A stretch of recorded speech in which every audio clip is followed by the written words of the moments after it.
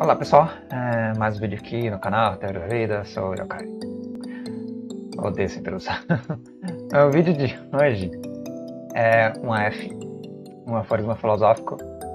Ele é de anime, só que ele é anime da temporada e além de ser anime da temporada, ele vai ser uma sequência de aforismos episódicos.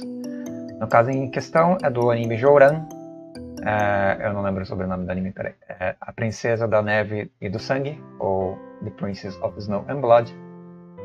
E esse anime em especial, ele tem em cada luta, eu acho que vai ser assim, tomara que seja, pelo menos nos dois primeiros episódios teve, teve uma poesia e a batalha. E a batalha com o clímax, e a poesia representando o momento do espírito, da alma, da emoção, do que a personagem que está efetivando, que no caso é a. Eu não lembro o nome dela, o nome dessa personagem protagonista, acho que é Sawa, não sei, acho que é Sawa, mas o momento onde ela está matando o vilão do episódio.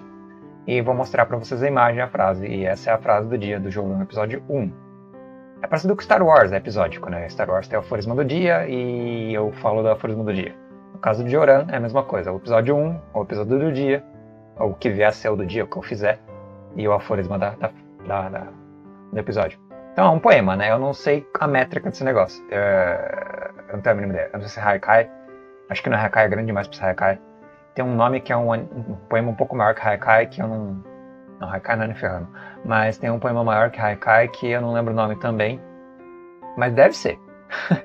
deve ser. Eu não vou pesquisar, não, não vou. Eu vou só fazer as frases mesmo. A frase da vez é essa aqui. Em meio à neve branca, impiedosa, um sonho efêmero se espalha. O caminho de volta leva apenas ao inferno. Não tenho arrependimentos. São três frases. É, uma delas é pausada, porque tem uma vírgula. É, são três frases curtas. Vamos frase por frase. É muito interessante essa frase. Olha, em meia neve branca impiedosa, estou numa situação que, por mais que pareça pura, que a neve é branca, é, tem assim uma espécie de gelidez o que é uma neve branca? Além de ser neve, né? Neve é uma coisa fria, uma coisa, é, como eu posso dizer, pura também, logicamente, mas é uma coisa, assim, lenta, uma coisa que cai, uma coisa que se acumula. E não necessariamente aquilo que está caindo no céu, também a neve que se acumula. Acho que eu estou gravando sua tela, né? Dá também para gravar sua tela e deixar lá, porque é bonito. Mas além de ser uma coisa que se acumula, ela é uma, é uma pureza é, nociva, ela é impiedosa, ela é fria, aí junta com o frio da neve. Ela é gélida, ela é, sei lá, insensível, uma neve insensível. Estamos circundados, está num ambiente onde está ao todo, tudo ao seu redor é insensível. Não, não, pode, não precisa ser neve. Pensa que você está numa situação onde você está pressionado, apreensivo, é, é, o ambiente é tóxico, ele é impiedoso, ele é asfixiante. Aqui você está usando um cenário de, de, de metáfora, neve branca, ou seja, a neve representa um cenário asfixiante que é puro, mas é opressivo, é um cenário fixo, estático. Você pode pensar não nevando, mas um campo nevado, como se fosse um campo de arroz, mas coberto de neve aquela, aquele deserto branco, um deserto branco. Um deserto branco é inóspito. É que nem um deserto que é deserto mesmo, é um deserto de areia. Mas é inóspito, é um ambiente é, fixo, é um ambiente de força natural muito, muito pungente, muito imensa. É uma imensidão, e por isso é impiedosa. E nisso tem um sonho efêmero que se espalha. O sonho efêmero é aquele que está inserido dentro do deserto de neve branca é aquele que está inserido dentro da asfixia. É um sonho, é um desejo, uma pulsão, uma luz que brilha. É, um, é uma espécie de, de esperança, um vislumbre. Mas é um vislumbre que some um estalar de dedos. É um vislumbre que, que ele é frágil. Então você, você é perdido no meio de um deserto branco onde tudo é opressivo. Pensa você numa situação familiar, na escola, no trabalho, ou uma relação com o meio ambiente mesmo, que, no, que é uma metáfora ambiental, né? Mas é, onde o seu coração está sofrendo e você sofrendo num, num assim, sem nenhum tipo de, de, capacidade de redenção, porque é impiedoso, não tem como se redimir, não tem como fugir. Você está aprisionado na situação.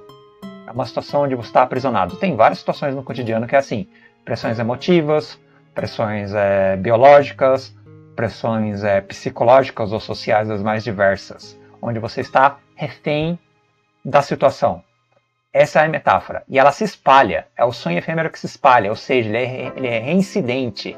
É você é, com uma luz no fim do túnel muito distante que você não alcança. E o sonho ele está ali, presente, do seu lado. É como se você não conseguisse abandonar é, a sua ambição, abandonar a sua redenção.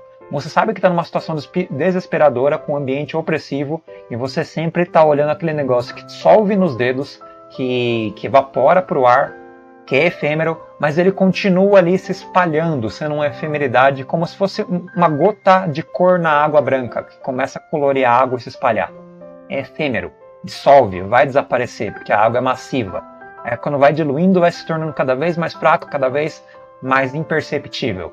Esse sonho é a mesma coisa, mas ao mesmo tempo que ele é efêmero e se espalha, ele se mantém. Então, uma, uma, um sofrimento, uma resignação, e mas ao mesmo, ao mesmo tempo é um andar em direção à luz, em, dire, em direção a algum lugar.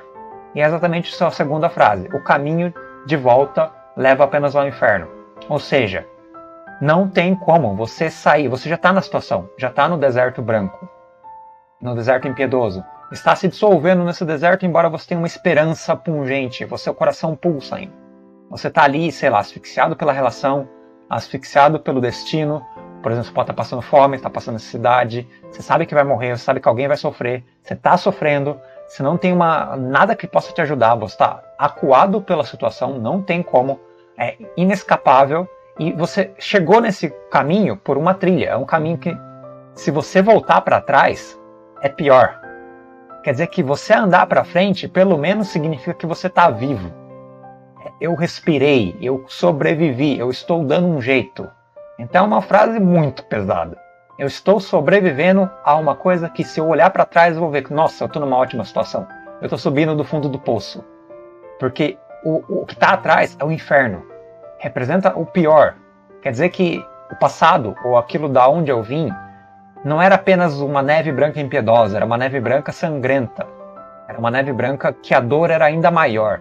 E o meu sonho efêmero que se espalha nessa circunstância, por mais que ele esteja se dissolvendo, esteja sendo agredido e eliminado pela situação, ou dissolvido na situação, ainda assim é melhor ele estar sendo dissolvido do que antes dele sequer estar na, nesse momento, nesse instante onde eu estou presente. Ou seja, voltar para trás é, é inimaginável e olhar para trás é sofrer. É você olhar para o passado e falar que bom que eu estou no presente. Entendeu? E não tem como voltar para trás, porque voltar para trás é voltar para o inferno. E não tem como voltar mesmo. Mas o caminho de volta, se caso ela quisesse voltar, leva apenas a dor ao sofrimento ainda maior. Ou seja, você tem que olhar para frente e erguer a cabeça. E não tem escolha. Essa é a frase, esse é o aforisma, esse é o poema. Mas, exatamente, e aí é a frase de redenção final. Você é a pessoa que está na situação. Não tenho arrependimentos. Eu estou numa situação difícil, eu estou seguindo em frente, eu passei pelo inferno, eu estou num, num deserto impiedoso, num deserto de neve branca, num sonho efêmero, sofrendo no instante, porém eu estou aqui, eu não me arrependo de nada, eu aceito a situação, eu respiro, eu olho para frente, eu endireito a coluna, e eu continuo o meu percurso. Não interessa, eu não vou voltar para uma situação pior, eu vou continuar escalando esse poço. Eu não tenho arrependimentos. Eu não importa o que eu fiz para sobreviver ao inferno. Não importa o que eu tive que fazer. Se eu tive que roubar, se eu tive que matar, se eu tive que de decair a minha moral, se eu tive que mentir, se eu tive que trapacear, não interessa. Eu não tenho arrependimentos nem que eu tenha que ser canibalizar alguém. Eu não tenho arrependimentos. Porque o inferno era pior. E eu não tenho como voltar para ele. Passar fome é pior do que você roubar.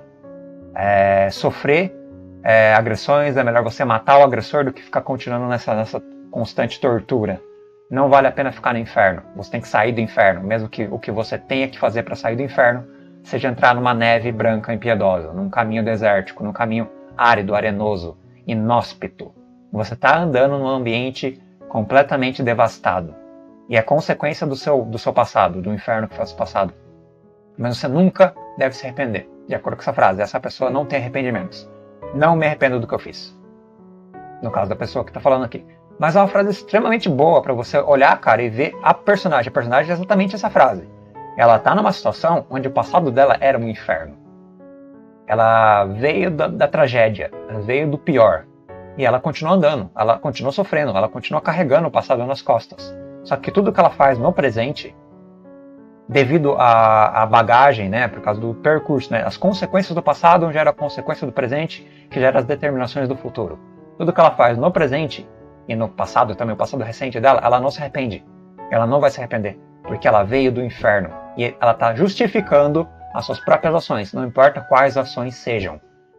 Quais ações sejam. Ela justifica porque ela não se arrepende. Ela é uma pessoa de caráter firme, não importa se ela é um demônio.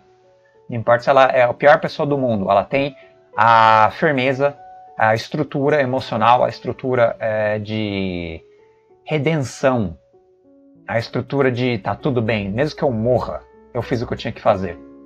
Esse é o nível de determinação dessa personagem. Isso é abissal, é absurdo, é incrível.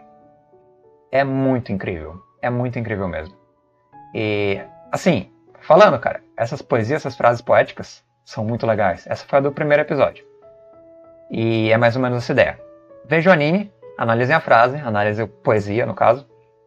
E obrigado por me ouvirem, pessoas. E é forte, mas é, é legal, né? Eu achei, achei bacana essa frase. Espero que vocês tenham gostado. É, mas é isso. Falou, pessoal. Até mais.